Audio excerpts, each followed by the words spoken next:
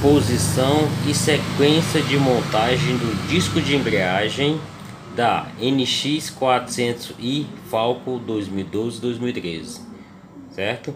Primeiramente colocamos o cubo central de embreagem no local, ok? Depois vem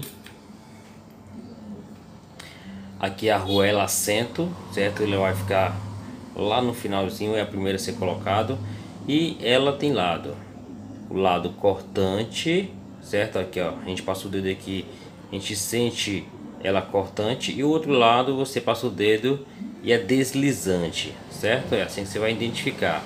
Aqui ó, não corta e aqui ó, cortante. Você sente uma parede mais laminada, certo? Como se estivesse cortando realmente seu dedo.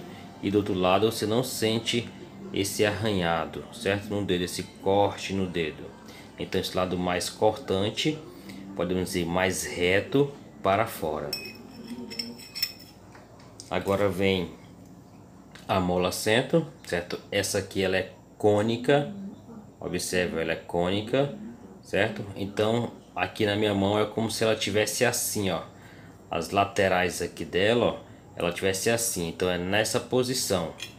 O lado mais alto aqui, ó, na parte de dentro, vai ficar para o lado de dentro, certo? Esse lado aqui nas extremidades mais alto vai ficar para o lado de fora. Observe como está, ó.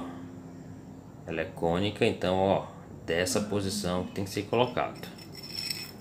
Pronto. Agora vem esse disco de embreagem, certo? Ele é a largura menor do que os demais.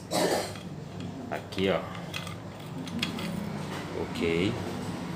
Agora vem o separador de embreagem certo? Esse lado cortante aqui ó fica para fora. O lado deslizante sempre para dentro. Observe ó, aqui desliza e aqui você passa você sente cortar o dedo. Então sempre esse lado cortante para fora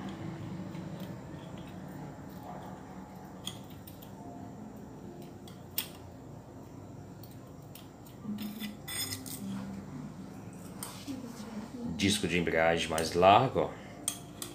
não tem lado para se montar, qualquer lado.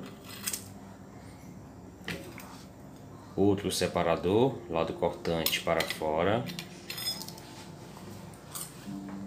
Disco.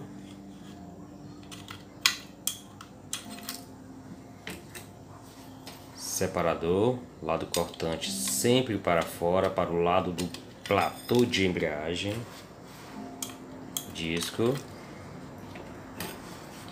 separador, disco, separador. Antes de montar os discos de embreagem tem que colocar no mínimo 30 minutos a banho a óleo. Disco separador, sempre lado cortante para fora.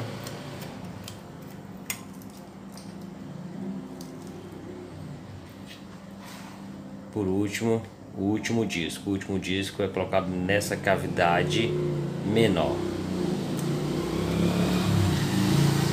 Pronto. Aí agora coloca-se o pino da arte da embreagem, de acionamento da embreagem e por último coloca o platô de embreagem.